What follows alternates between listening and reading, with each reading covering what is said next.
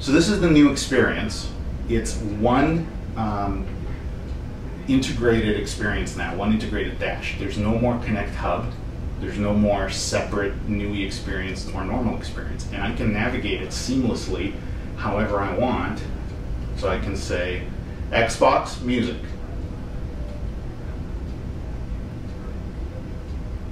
And you'll see that it prompts me for the next step. So I could have kept going and accessed any one of the millions of pieces of music, either locally, marketplace, or my collection. Xbox games.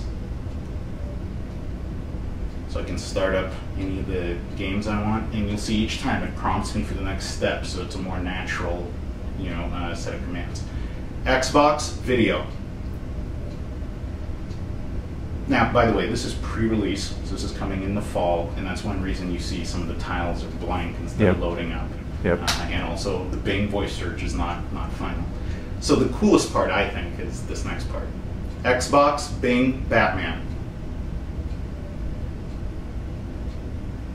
So this is searching across movies, TVs, games, apps, across all sources, and bringing back everything with that keyword. Popular titles we have out for Kinect today is Kinect Sports. This is the next generation, and it introduces a whole bunch of new sport games such as golf and American football.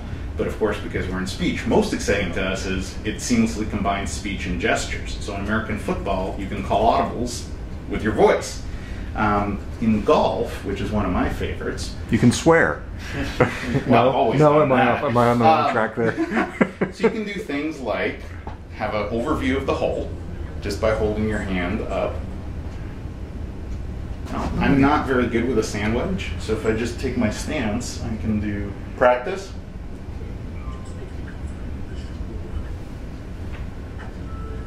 Yeah, me turn it a little. I could also change club, change club, sand wedge. So I could have just changed to any club I wanted using my voice. yeah. Let's try that again. I was gonna say I prefer the driver from. Take shot. Mm, too far. Oh, oh, that sucked. that is not. They're very kind. flattering. And it's a much more natural, actual playing experience because I'm not having to get up and reach over here somewhere. I just get in my get in my stance, and again, just say practice.